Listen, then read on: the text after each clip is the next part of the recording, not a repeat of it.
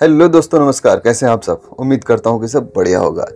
एक बार फिर स्वागत है आपका हमारे चैनल सानो गैलेक्सी 24 पर। आज हम आयरलैंड के बारे में कुछ दिलचस्प तथ्यों को जानेंगे। आयरलैंड एक रोमांचक और अद्भुत देश है, जो अपने प्राचीन संस्कृत प्राकृतिक सौंदर्य और इतिहास से प्रसिद्ध है। तो देर किस बात की चलिए शुरू करते हैं। आयरलैंड के विपरीत उत्तरी आयरलैंड यूके का हिस्सा है।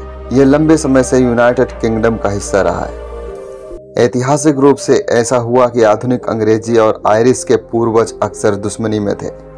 और बाद वाले ने अपनी स्वतंत्रता का जमकर बचाव किया। लेकिन वह समय लंबे समय से चलता रहा और उत्तरी आयरलैंड लंबे समय से सफलतापूर्वक ब्रिटिश साम्राज्य में एकीकृत हो गया, जो इसका एक महत्वपूर्ण हिस्सा बन गया।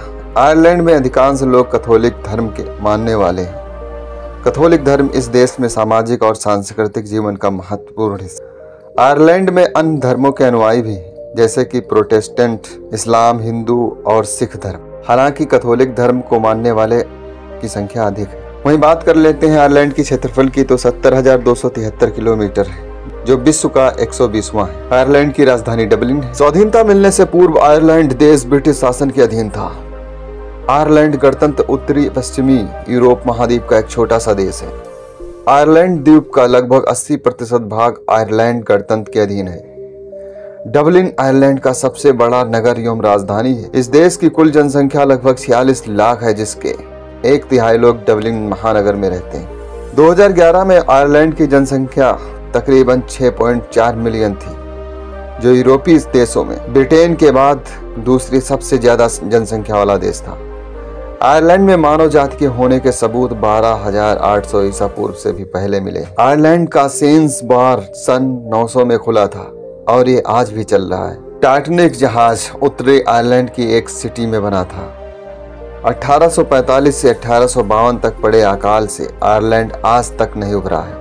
अकाल से पहले यहाँ की जनसंख्या 80 लाख थी और आज चौसठ लाख है। आयरलैंड में 10 परसेंट से भी कम लोग आयरिश भाषा बोलते हैं। आज के समय में जितने ध्रुवी भालू जीवित हैं अगर उनके पूर्वजों का पता लगाने की कोशिश करें तो ये सभी आयरलैंड में पचास हज़ार साल पहले जीवित एक भूरी मादा भालू के बच्चे अगर आपके दादा दादी आयरिस हैं तो आप वहाँ की नागरिकता ले सकते हैं। आपके जन्म स्थान से उसका कोई लेना देना नहीं है। दुनिया का सबसे पुराना नौका क्लब सन 1720 में आयरलैंड में खुला था। मार्टिन लूथर किंग जूनियर अपने परदादा की वजह से आयरिस थे।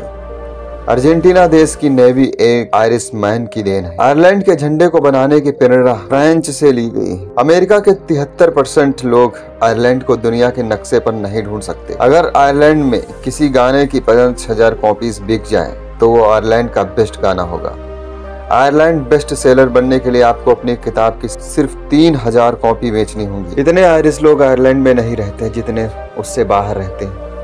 आयरलैंड दुनिया का एक लौता देश है जिसका राष्ट्रीय चिन्ह एक म्यूजिकल इंस्ट्रूमेंटल है आयरलैंड में आदमियों से ज़्यादा मोबाइल फ़ोन है। आयरलैंड में 36 लाख लोग चश्मे पहनते हैं। वहीं पूरे यूरोपियन यूनियन में अकेला आयरलैंड ऐसा है जहाँ गर्भपात करना गैर कानूनी है। 90 परसेंट आयरिश कैथोलिक धर्म के अनुयायी हैं, लेकिन शायद 30 परसेंट ही कभी चर्च गए होंगे। डूबते टेक्निक से आखिरकार आयरलैंड के बंदरगाह पर की गई। आयरलैंड में गे मैरिज को कानूनी रूप से मान्यता प्राप्त है। तो आज हमने जाना कि आयरलैंड के बारे में कितने रोचक तथ्य हैं। इस देश की प्राकृतिक सुंदरता, ऐतिहासिक महत्व और सांस्कृतिक धरोहर, इसे एक अनूठा स्थान देते हैं। तो अगर आपने अभी तक आयरलैंड का अनुभव नहीं किया है तो ज़रूर जाइए और एक रोमांचक देश का आनंद ले। अगर मेरा वीडियो पसंद आया है तो इस वीडियो को लाइक करो, ज़्यादा से ज़्यादा इसे शेयर करो, ताकि हम ऐसी ही इन्फॉर्मेटिव वीडियो बना सकें आपके लिए। तो मिलते हैं किसी ऐसे ही वीडियो के साथ। अब तक देखते रहो, मस्त रहो। धन्यवाद।